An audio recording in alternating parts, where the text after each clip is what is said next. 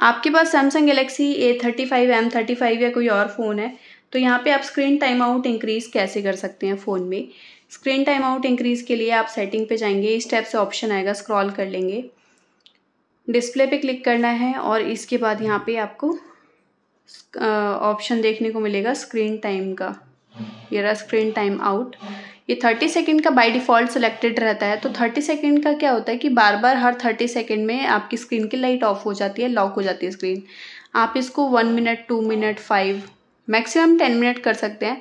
बच्चों को देते हैं पढ़ने लिखने के लिए तो टेन मिनट करके दे देंगे. तो यहाँ पे स्क्रीन की लाइट दस मिनट तक बिना टच किए वो रीडिंग कर सकते हैं या फिर लिख सकते हैं नोट्स वगैरह. आप फाइव मिनट भी कर सकते हैं। नॉर्मल जो जर्नल यूज़र हैं, उनके लिए मैं आपको टू मिनट रेकमेंड करूँगी। तो आप यहाँ पे सेट कर लेंगे। एक ऑप्शन होता है keep screen on while viewing इसका मतलब ये होता है कि जब तक आप स्क्रीन को देख रहे हैं, इस सेंसर से आपकी आइज़ डिटेक्ट कर लेती है, तब तक स्क्रीन की लाइट ऑफ़ नहीं करती ऑफ़ नहीं होती है। बिना टच किए फ़ोन को आप देख सकते हैं। अगर कुछ नोट वगैरह पढ़ रहे हैं रीडिंग कर रहे हैं तो उसमें बेटर रहता है ये। ऑप्शन और जैसे ही आप फ़ोन से नज़र हटाते हैं इधर उधर स्क्रीन तुरंत लॉक हो जाती है।